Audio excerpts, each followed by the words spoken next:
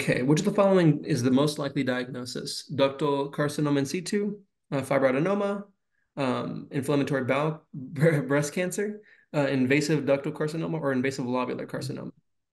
Okay. A 48 year old woman presents to the gynecologist for her annual checkup. On physical examination, a poorly defined mass is detected on her right breast.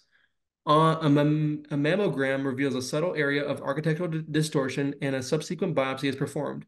Histological histopathological examination shows infiltrating neoplastic cells in a linear fashion with a lack of E cadherin expression. Um, which of the following is most likely diagnosis?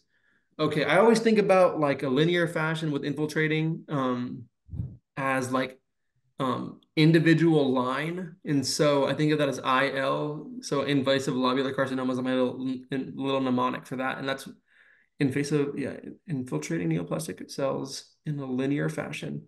I would probably say um, yes. And plus, I think of also LC as lacking cadherin. Um, and so I always think of that as a yes, uh, ILC. Okay. Okay. So working through this pretty well. Okay. So just kind of a little repetition here. So, um, way I'm thinking about this, right? 48 year old woman. So in my mind, middle aged woman, right? Poorly defined mass in the right breast. When I read that, I'm already thinking it's cancer until proven otherwise, right?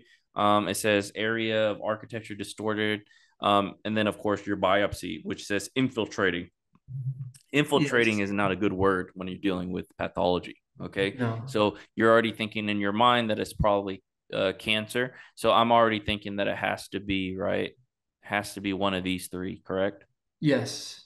Okay. Now it gets to the fact of you, you're asking yourself, okay, which one of these three, right? So you remember kind of the, you know, linear fashion, the E cadherin expression, right? These are going to be your specific symptoms, right? Um, so, do I remember personally of breast path, uh, uh, histology? No, I don't. But you sound pretty confident, so probably correct here. Yep. So yeah. So I just want you to kind of the reason why I'm reiterating is so that you know um teaching you kind of those overarching things of when you're working through questions, right? Yeah, Chronic thing, right? Irregular mass, right? So things like that that are cancer, it should be screaming cancer to you.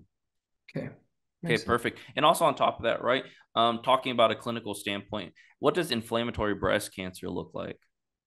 Um, I would assume it's going to be more like literally inflammatory type of reaction. So it's going to be like maybe red. It's going to be hot, um, painful um, things like this. I'm not yeah. entirely sure, but that's kind of what I would say. Sure. So inflammatory breast cancer has very specific, I mean, uh, how to say this, a very unique look. Um, so that I know you talked about kind of, you know, um, having issues with, you know, the breast diagnosis and things like that. But one of the things, like you said, you can remember as infl- inflammation. That's a good way to remember. It will be red. But do you remember that French word "peau orange"? Right? It looks like oh, a yes, yeah, little dimpling, right? Um, and it's because it's inflamed and you have kind of those ligaments pulling the skin in, so it's gonna pucker kind of like an orange. Though that's gonna be really your inflammatory breast tissue cancer.